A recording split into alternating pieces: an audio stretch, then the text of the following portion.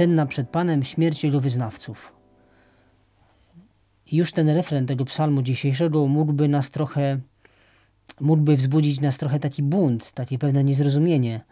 Ten psalm jest zupełnie niewspółczesny i taki troszkę też właśnie nie dzisiejszy. Bo jak to jest możliwe, że śmierć poniesiona dla Pana Boga jest czymś, co miałoby być czymś cennym, czymś, czym się można chwalić. A jednak tutaj psalmista mówi i zachęca nas do takiej modlitwy, która nam przypomina o tym, że Pan Bóg przyjmuje ofiarę swoich wyznawców. Tak robił zawsze w historii Kościoła.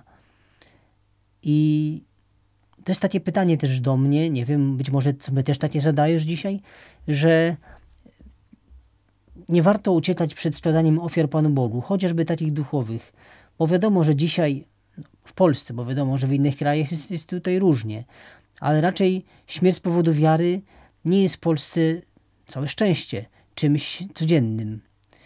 Ale czymś codziennym także w Polsce może być takie codzienne ofiarowywanie Panu Jezusowi swoich trudności, jakieś takie znoszenie jakichś też cierpień dla Niego.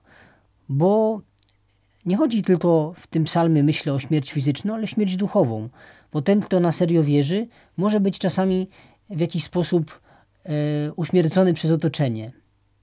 Może być uśmiercony przez to, że będą się z takiej osoby śmiali, będą wytykać ją palcami. Jesteś chrześcijaninem, katolikiem, no to jesteś trochę naiwny i zupełnie nieżyciowy, nie dzisiejszy. Ale psalmista potwierdza, że warto ofiarowywać się dla Pana i że w oczach Pana cenna jest śmierć tych, którzy w Niego wierzą. Śmierć w sensie duchowym. I o tym pamiętajmy przy tym dzisiejszym dniu, że cenna jest w oczach Pana śmierć Jego wyznawców.